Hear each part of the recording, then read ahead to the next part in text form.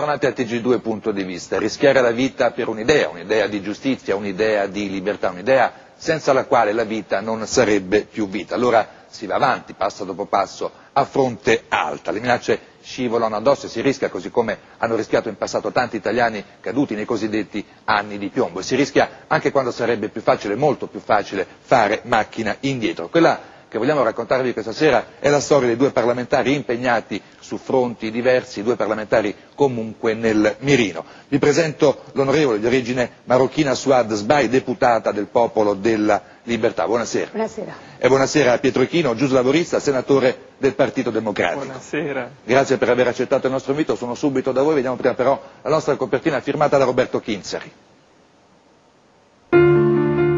Ichino e Suad Sbai siedono in Parlamento eletti in due schieramenti opposti, lui PD, lei PDL. Nella vita condividono un destino, entrambi sotto scorta, persone libere, costrette ad una esistenza blindata per le minacce dei terroristi.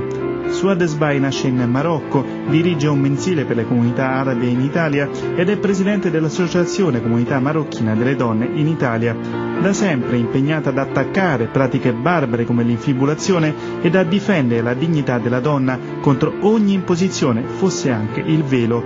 Da mesi è al centro di una campagna d'odio, lei, musulmana, riceve le minacce numerose degli estremisti islamici. E allora, onorevole Sbai, lei è stata protagonista di tante battaglie in favore delle donne islamiche. Noi del TG2 ne abbiamo già parlato in passato, ma vale la pena insistere. Qual è la condizione delle donne in quei paesi eh, musulmani, a cominciare dall'Afghanistan? Ma io comincerei intanto dall'Italia. La situazione delle donne musulmane in Italia, donne eh, maghribine, donne che arrivano nel nostro paese per congiungimento familiare e la loro condizione è drammatica.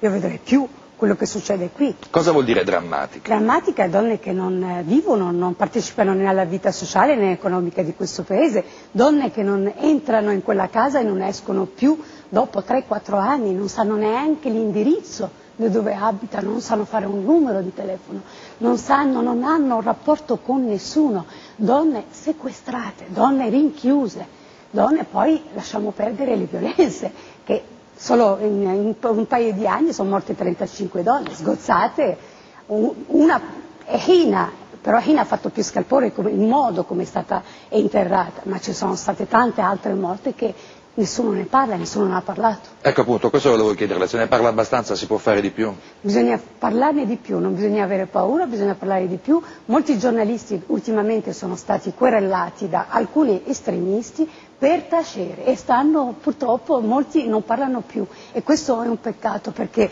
bisogna continuare a parlare di queste donne. Non si parla male della religione, si parla purtroppo dell'estremismo che è avanzato nel nostro paese, che è avanzato e continua a avanzare. Parlare d'accordo, ma in termini legislativi? Eh, bisogna fare qualche cosa, bisogna controllare questi centri, di, eh, centri religiosi che sono ormai eh, eh, imam fai da te che ogni giorno creano e alimentano odio verso anche la seconda generazione e questa è la mia preoccupazione. Già la prima eh, un po' l'abbiamo persa, ma la seconda non dobbiamo permettere. A proposito degli, degli imam, lei è stata più volte oggetto di più di una fatua, le fatue sono delle vere e proprie condanne a morte, questo a causa del suo impegno, così? Ma quello io vedo i miei colleghi che lavorano veramente ecco, in Afghanistan oppure in altri paesi arabi, fanno il mio lavoro e non hanno paura, non è la fatua che ferma eh, la volontà e la voglia di eh, chiedere la civiltà, questo noi non facciamo altro che chiedere il diritto della donna e un po' di civiltà, perché queste persone non pensano a questo, vogliono portare un pensiero radicale che non ha niente a che vedere con l'Islam e lo stanno facendo più eh, in Occidente che nei paesi arabi, ma sta avanzando più da noi. Bisogna bloccarli. Io non ho paura perché molti colleghi miei, ecco, che questo mi conforta, lavorano eh, su queste tematiche nell'associazionismo femminile, e alcune addirittura hanno 86 anni e ancora continuano la loro battaglia. Sono in un paese civile, non dovrei, par- non dovrei avere paura eh, di nessuno. Onorevole Sbai, eh, lei in un'intervista alla stampa di qualche giorno fa ha detto qualcosa eh, di molto importante, di molto forte. Lei ha detto che i veri estremisti sono qui in Italia, finora hanno deciso che non è necessario far scorrere del sangue, ma prima o poi questo equilibrio potrebbe incrinarsi, allora ci saranno i morti, morti anche italiani. Perché ha detto queste cose? Perché fino ad oggi lavorano più all'estero, l'Italia serve come punto di riferimento, basta vedere quanti terroristi sono andati, partiti dall'Italia, partiti da Milano, partiti in altri paesi per fare attentati e quanti terroristi stavano tornando, ecco, come quello inglese stava tornando in Italia per cercare rifugio dai gruppi che sono in Italia. Purtroppo è la realtà. E il momento che non gli interesserà più questo territorio è il momento che saranno più aggressivi, anche se, se già ci sono, eh, ci sono gruppi aggressivi che eh, aspettano il momento giusto. Lei ha subito molte minacce. Non mi preoccupano le minacce, il, il, vedo tanta sofferenza e quando uno incontra tanta sofferenza non bada alle, alle minacce, tanta violenza, veramente donne infubulate, donne massacrate, donne, insomma, alla fine eh, la paura passa. Cosa manca invece, onorevole Sbagli? Ah, io passo 14 ore dentro la camera, purtroppo senso, non manca, manca, niente, vivo con queste donne, abbiamo il centro di accoglienza dove ci sono tante donne, tanti bambini, devo dire il mio tempo lo passo lì, lo passo alla camera, poi lo passo...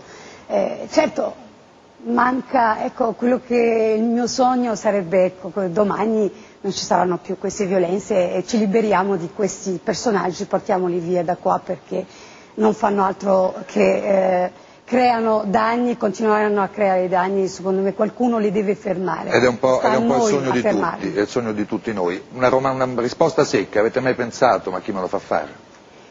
Qualche volta, qualche volta e poi eh, come le ho detto prima vediamo tanta sofferenza che poi ci fa andare avanti. E lei? Eh, chinare la testa, rinunciare a scrivere, a parlare, questo è proprio non si può. Eh, i, I terroristi sono in fondo dei mafiosi, vogliono spaventare, colpire uno perché tacciano in cento. Eh, non si può accettare questo. Poi non bisogna questo. morire tutti i giorni. Assolutamente. Grazie all'onorevole Smai, grazie al senatore Ichino, grazie a voi per essere stati con noi anche questa sera. TG2 Punto di Vista torna domani. Buona serata.